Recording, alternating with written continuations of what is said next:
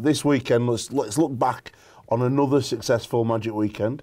So over 64,000 people uh, heading to Newcastle for the fourth year, but probably the last, with New York being touted as the 2019 destination. New York, that'd be awesome, wouldn't it? As a player, Would it for the fans? Because I spoke to Warrington fans in the hotel last night.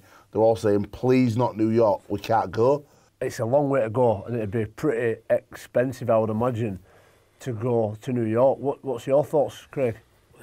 we've got to we've got to we've got to maximise the game. We've got to. I, I, I, do a grassroots rugby league where we take the players, two or three, and we go down to amateur clubs and try and get kids to come. We've been doing it now. We've done 13 clubs, and I'm like you. I get frightened when you you telling kids about the game and they're like, oh, I said, who's the man of steel? Don't know. Who's this? Don't know. And I'm like, this is terrifying.